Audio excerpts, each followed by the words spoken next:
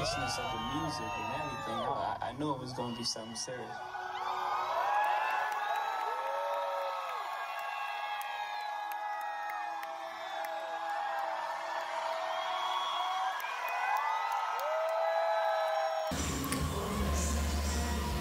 I've always had a connection to music. As far back as listening to Kiss FM in the morning with my mom, listening to old school salsa with my pops. Music has always been the soundtrack to my life. Pun very intended. I wanted to tell the story of how music can go from conceptual to physical, and all of life's great in betweens. This is the story of the Floating Lighthouse and the making of their EP, Again We Meet at Last. Welcome to Sessions Season 1. Who made the first move? That's a great I think question. it was mutual. I think it was. Ooh. I think I think we started I think we started talking about music and he's like, "Oh, I play drums." I'm like, "Oh shit, I play guitar. We should jam sometime." And he's like, yeah. All right. "All right, cool." Yeah. I don't remember who exactly said, but I'm pretty sure that was the conversation. Yeah. Whoever started it or finished it, it went from, "Oh, I play this. Oh, sweet, I play this. We should play together." All right, cool, that works. When do you want to do that? Oh, let's do it this day. All right, cool. First thing ever was we recorded uh, Juno with my Ju- laptop. Juno with your laptop In in, your my parents' basement. basement. Yeah. Wow. How, how long ago was that? Ancient history. 2007. Yes, No, 2007. Yeah, 2007. So, I was technically, the first iteration of the band was how old? Like, now it's like 12 years? Something like that? Uh, Yeah, if I was Yeah. 14, yeah. Yeah, I'm Wow. pretty sure it was about 2007 because we recorded and put out um, "Is Here." Like I think we took it took us like maybe six months to put out that. You know, we only I think we only recorded. What we do four songs or five songs in five songs. at at uh, the project studio. No, six. It was six. Uh, give me a good, fun memory from this whole experience. Just getting the reaction from like people who have never heard our music before. Like we've listened to the, these songs like day in and day out, our spouses and significant others and everything. Just, but these people have never heard us, and it was just cool seeing their reactions and their comments and everything. Plus the surprise visit from my wife. She brought homemade stickers. It was amazing, but that was cool. That was Yes. Um, yeah, someone shouted stickers, out, man? Uh, I love your drummer. It's like, hell yeah. You're fucking killing it, man. I think I think that I think I have that on he got a video. sticker, dude. You should. Did you make sure he got a sticker? I Oh, don't, I don't shit. even know who it was that Yeah. like literally, as soon as we finished, like three quarters of the bar got up and left. I know. If you that's see this wild. interview and you say I'm that guy, then I'll give you a sticker. Yeah, Alright, well, come I'll claim your sticker. Claim your sticker. Comment below. Claim your sticker. Um, yeah. It, it went well. They let us Yeah. play another songs. Nice. Indeed. I think it was uh. Was it your, it's your go. Oh, uh, the whole thing's been memorable and fun. Just getting to hang out with these guys and jam and mess around every week. Yeah, I like the time that um, Andrew was uh, trying to like pretend to put out a fire and motioned with his water bottle that was open and just like put water Splashed everywhere. everywhere. Yeah. Wait, That, that was maybe one of my favorite memories. We don't let him pantomime If anymore. my shirt was a fire, I succeeded. Yes. I think this was like right before she joined the band when we were at the garage. Mm. Like you started, you literally, I think you literally came the first day that we had practice here. Yeah. Okay. One of the first weeks that we had practice here. We were originally at his old apartment. He he'd rented a house and it had a garage with a loft at the top, and having like the random conversations with his roommate Jeff, and the whole uh, the the Santa, the the snowman. Oh yeah. The little the- hail Satan, hail Satan, Yeah. hail! There's like these little Christmas.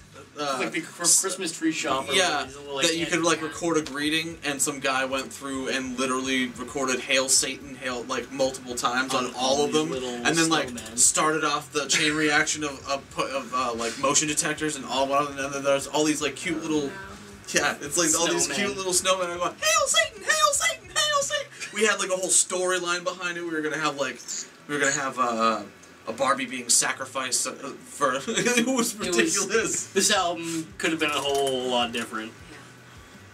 So that that I think that's probably one of the more funny ones that He we kind of dragged. All right. Um. Any expectations for future projects? What's happening next? Global tour. One open mic. Global One tour open mic to global tour. I like it. It's next it's stardom. Yeah. Yeah, just keep writing new music and More music. So a new Uh, album. Got the music video happening. Yep. If you Hopefully, don't like and subscribe, then Next we're song. be sad. I was so. Next song. I'm hoping for it to be done by the end of September, and I will hopefully release it for Halloween. Sweet. Next song. That's what we're gonna Spooky. do. Next song. That's right. One more going. in the We're banks. we're gonna Next push- song. We're gonna push forward and keep on keeping on. Fuck you. You're always fucking naysaying. All right. Uh, any special shout outs? My guy upstairs, Jesus. Thanks to our executive producer and uh, record owner, record label owner, uh, Whit Connery, Wit's Oh, End yeah, Records.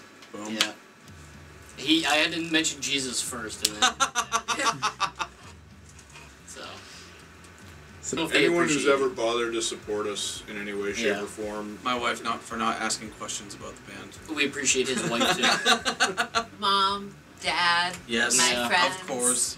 Jess, Christine, um, Micah. you know, my husband. He's cool too. Thanks, Micah. I mean, he's all right.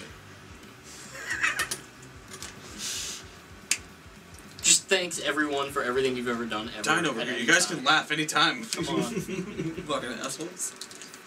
All right. Thank you guys so much. thank Thank you. you, Thank Law. you. Love you guys, and I'll catch you very soon.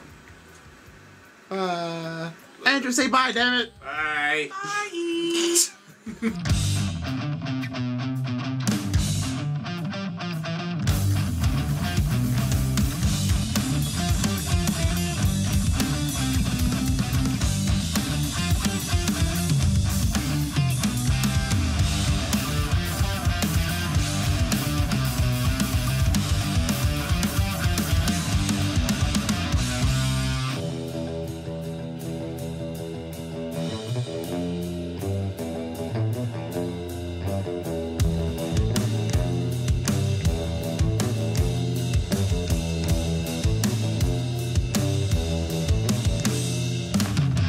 When we finally got to play these songs on stage, for me it felt like an exhale of relief.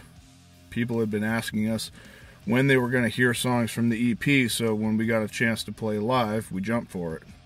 The Stone Church, if you've never been there, is a quaint place with a lot of musical history, and to be honest, we didn't really know what to expect. Being able to play in front of complete strangers as well as friends and family, I think was really good for us uh, because we were able to get the sincere and objective feedback that we don't normally get.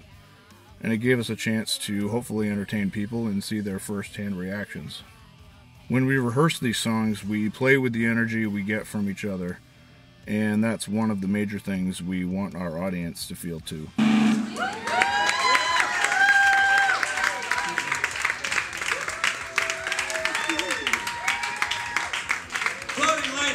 Ladies and gentlemen.